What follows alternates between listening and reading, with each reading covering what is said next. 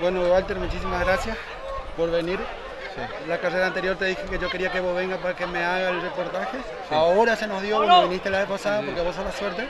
Ahora vos viniste, me está haciendo el reportaje, ¿no es cierto? Bueno, más agradecido con, con, toda mi gente, ¿no? principalmente con el cuidador, que tengo cuidador nuevo, que es Darío.